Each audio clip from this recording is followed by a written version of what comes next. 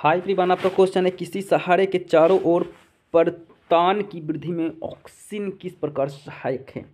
Okay तो सूर्य का प्रकाश परतान के जिस ओर पड़ता है ऑक्सीन उसकी विपरीत दिशा में चला जाता है। ऑक्सीन कोशिकाओं की वृद्धि को प्रेरित करता है, इसके कारण परतान वृद्धि करता हुआ मुड़ जाता है, इस प्रकार वह सहारे के चारों ओर लिपटता है। ठीक है so thank you like share subscribe